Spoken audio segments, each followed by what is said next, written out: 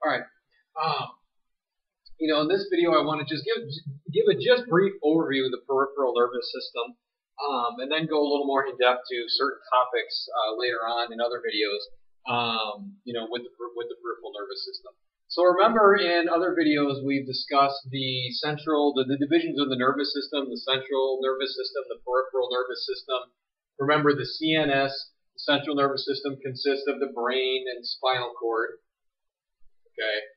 And this is, you know, like I said, you know, you think of the brain and spinal cord as the processing aspect of our body. You know, this is where basically we um, unconsciously and consciously process information about the world, about the world, the, the, our inside world.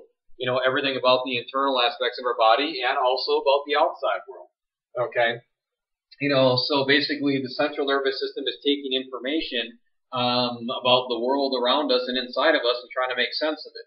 And, you know, and the peripheral nervous system is about getting the information into and out of the central nervous system. Okay?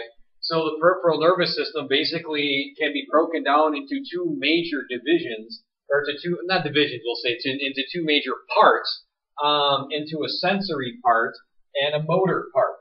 Okay? And you think of the sensory aspect, um, of the of the peripheral nervous system as basically detecting changes in our environment. Okay, and we think of those, you know, a good word to describe those changes in our, of our environment are as stimuli.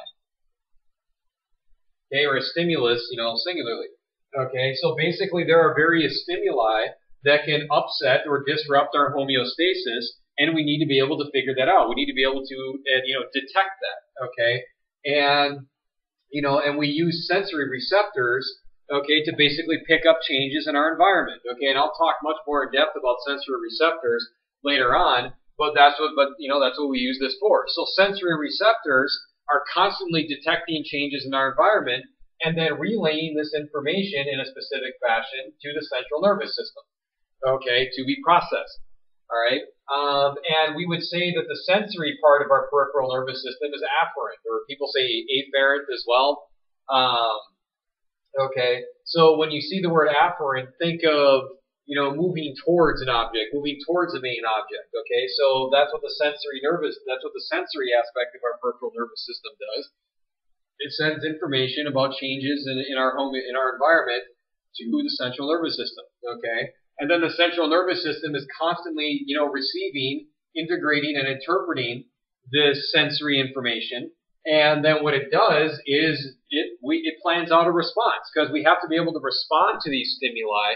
Okay, if we're unable to properly respond to stimuli, then that's well disease. We get sick. Okay, if we can't regulate our homeostasis, our physiologic balance, okay, we can't we can't self-regulate on our own, okay, we're going to need medical intervention to do this, okay? Um, so as a result, the central nervous system will plan out a response, okay, an appropriate response. And then it's going to send action potentials out through the motor aspect of our peripheral nervous system, okay? And motor nerves, motor neurons, branch out from the from the brain and the spinal cord out to specific tissues okay, to motor ends, okay? You know, these motor endings. Remember we talked about the parts of a neuron, the synaptic terminals at the end of the axon? That's the motor endings, okay? So the ends of those motor neurons.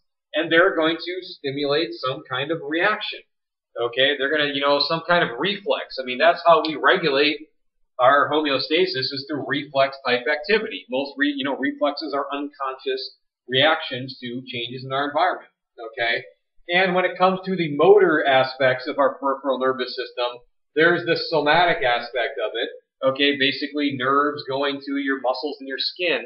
Okay, and then we've got the autonomic nervous system, abbreviated ANS. Okay, and the ANS consists of the parasympathetic nervous system and the sympathetic nervous system. And I will lecture more about these in the following week when we get to the autonomic nervous system. But basically, these are divisions of the nervous system that really help us respond to stress. Okay, to respond and to recover from, you know, from dealing with stress. Okay, so in a nutshell, the per, like I said, the peripheral nervous system is there just to monitor and you know to monitor you know various you know our external our external and internal environment by detecting stimuli that can upset our homeostasis. and then they send then these sensory neurons, you know, generate action potentials to the to the central nervous system, and your brain processes this information and then figures out the appropriate response, and then we send action potentials out via motor neurons and compensate. We deal with the stimulus. Okay, we want to try to deal with that because remember, most of our phys- most of our homeostasis revolves around negative feedback loops. Okay, I mean there are some positive feedback here and there. Okay, but remember negative feedback, a receptor. Okay, and then a control center, and then an effector organ of some sort.